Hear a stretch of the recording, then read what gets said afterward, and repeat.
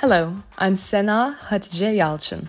I'm a fourth year student in the Department of Electrical and Electronics Engineering at Necmettin Erbakan University, Faculty of Engineering.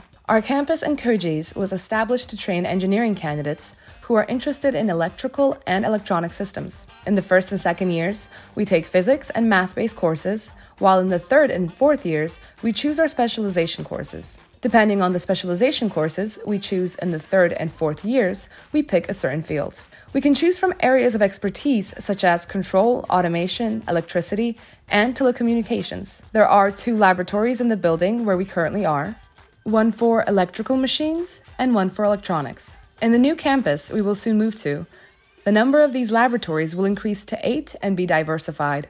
We have two mandatory internships. We can take our summer internship from the summer of the third year. In the second semester of the fourth year, we have a second mandatory internship that lasts throughout the semester. In terms of project selection, we must select and submit our projects in the second semester of the third year and the first semester of the fourth year. With the developing technology, the areas we can work in are increasing. If we need to mention a few main areas, we can list the automotive sector, the telecommunications sector, the energy sector, and electricity distribution companies. We can work in the field or R&D departments in these areas.